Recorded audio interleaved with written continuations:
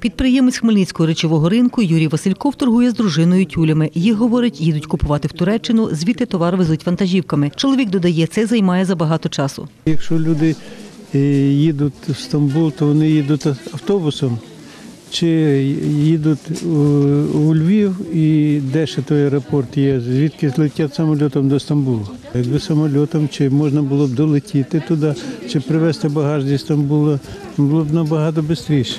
Голова ради профспілки захисту підприємництва міста Хмельницького Надія Кнець про можливість вантажних авіаперевезень з обласного центру говорить. Трошки він запізнився, правда, бо багато років він не працював. Але буде добре відремонтований і в сучасних умовах дуже буде вигідно. З її слів, прямі доставки товару повітряним транспортом користувалися б більшим попитом, якби налагодили ще й співпрацю з митниками. Якби було добре разом розтаможка місцева, от щоб підприємці не прийшлось би шукати, чекати, щоб вона була автоматична, е, швидкісна і е, справедлива, і щоб кошти йшли до державного бюджету.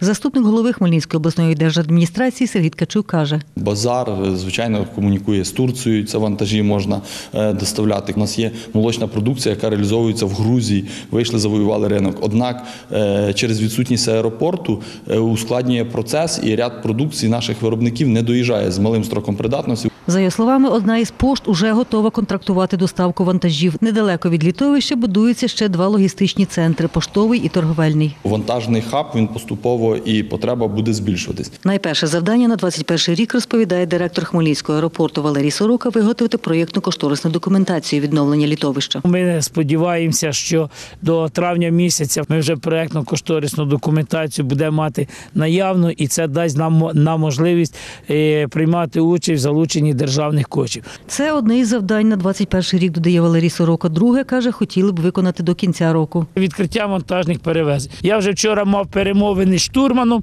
який сьогодні почне розробляти інструкцію польотів е, для літаків великої авіації.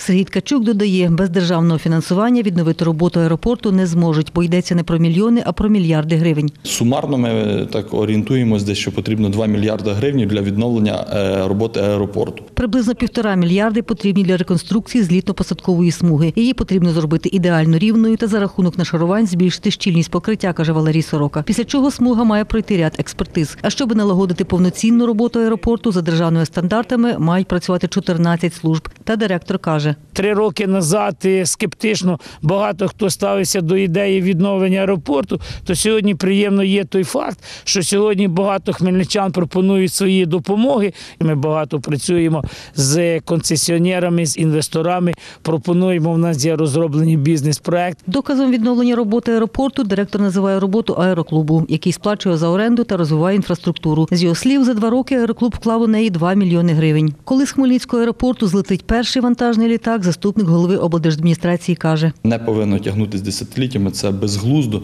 Я думаю, що за 3-5 років це реально повністю зробити, якщо буде повна державна підтримка. Світлана Поробок, Олександр Грішевський. Новини на Суспільному. Хмельницький.